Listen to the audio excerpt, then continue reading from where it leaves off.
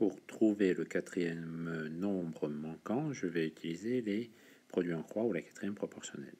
Donc x, ici, va être égal à ce premier produit en croix, 2 fois 7, divisé par ce qui reste du deuxième produit en croix, donc divisé par 1.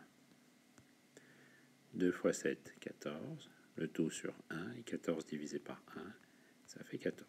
Voilà, c'est fini. Il y avait une deuxième façon de faire.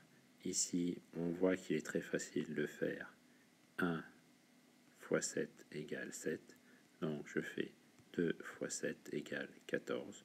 Donc x est égal à 14. Alors, on ne va pas rédiger comme ça parce que ça en mathématiques ça va pas.